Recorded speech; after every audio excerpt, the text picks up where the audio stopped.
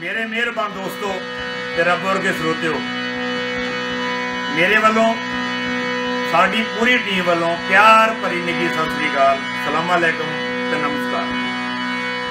ਮੇਰੇ ਬਹੁਤ ਹੀ ਅਜੀਜ਼ ਦੋਸਤ ਵੀਰ ਪਿੰਡਿਆ ਤਾਰੀ, ਜੋ ਇਸ ਸਮੇਂ ਦੁਨੀਆ ਵਿੱਚ ਨਹੀਂ ਨੇ, ਪਰਮਾਤਮਾ ਉਹਦੀ ਆਤਮਾ ਨੂੰ ਸ਼ਾਂਤੀ ਬਖਸ਼ਿਸ਼ ਕਰੇ, ਆਪਣੇ ਚਰਨਾਂ ਵਿੱਚ ਨਿਵਾਸ ਬਖਸ਼ਿਸ਼ ਕਰੇ ਇਹ ਮੇਰੇ ਵੱਲੋਂ ਉਸ ਪਰਮਾਤਮਾ ਅੱਗੇ ਅਰਦਾਸ ਹੈ। ਉਹਨਾਂ ਦੀ ਲਿਖੀ ਹੋਈ ਇੱਕ ਰਚਨਾ ਫਾਇਦਾ ਪ੍ਰੋਫਿਟ।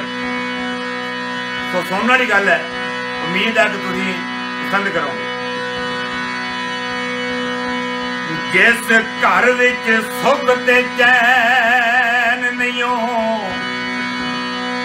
ਜਿਸ ਘਰ ਵਿੱਚ ਸੁੱਖ ਤੇ ਚੈਨ ਨਹੀਂ ਤੇ ਉਹਨੂੰ ਬਹੁਤ ਸਜਾਉਣ ਦਾ ਕੀ ਫਾਇਦਾ? ਜਿਹੜੀ ਧੀ ਰੋਲੇ ਇੱਜ਼ਤ ਮਾਪਿਆਂ ਦੀ, ਤੇ ਉਹਨੂੰ ਧੀ ਖਵਾਉਣ ਦਾ ਕੀ ਫਾਇਦਾ? ਜਿਹੜਾ ਪੁੱਤ ਬੋਲੇ ਮੋਰੇ ਮਾਪਿਆਂ ਦੇ, ਤੇ ਉਹਨੂੰ ਹੋਰ ਪੜਾਉਣ ਦਾ ਕੀ ਫਾਇਦਾ ਵੀ ਜਿਹੜੀ ਸੱਸ ਨਾ ਨੌ ਨੂੰ ਧੀ ਸਮਝੇ, ਤੇ ਉਹਦੇ ਪੈਰੀ ਹੱਥ ਲਾਉਣ ਦਾ ਕੀ ਫਾਇਦਾ ਜਿਹੜੀ ਨੌ ਨਾ ਸੱਸ ਨੂੰ ਮਾਂ ਸਮਝੇ, ਤੇ ਉਹਨੂੰ ਨੌ ਖਵਾਉਣ ਦਾ ਕੀ ਫਾਇਦਾ ਬੇਜੇ ਨੂੰ ਮੱਕੀ ਦੀ ਰੋਟੀ ਬਣਾਉਣ ਦੀ ਜਾਚ ਹੀ ਤੇ ਕੱਲਾ ਸਾਗ ਬਣਾਉਣ ਦਾ ਕੀ ਫਾਇਦਾ? ਵੀਰ ਪਿੰਡਿਆ, ਜੇ ਕੰਮ ਤੋਂ ਫਿਰੇ ਵੇਲਾ, ਤੇ ਉਹਨੂੰ ਵਿਆਹ ਕਰਵਾਉਣ ਦਾ ਕੀ ਫਾਇਦਾ? ਵੀਰ ਪਿੰਡਿਆ, ਜੇ ਕੰਮ ਤੋਂ ਫਿਰੇ ਵੇਲਾ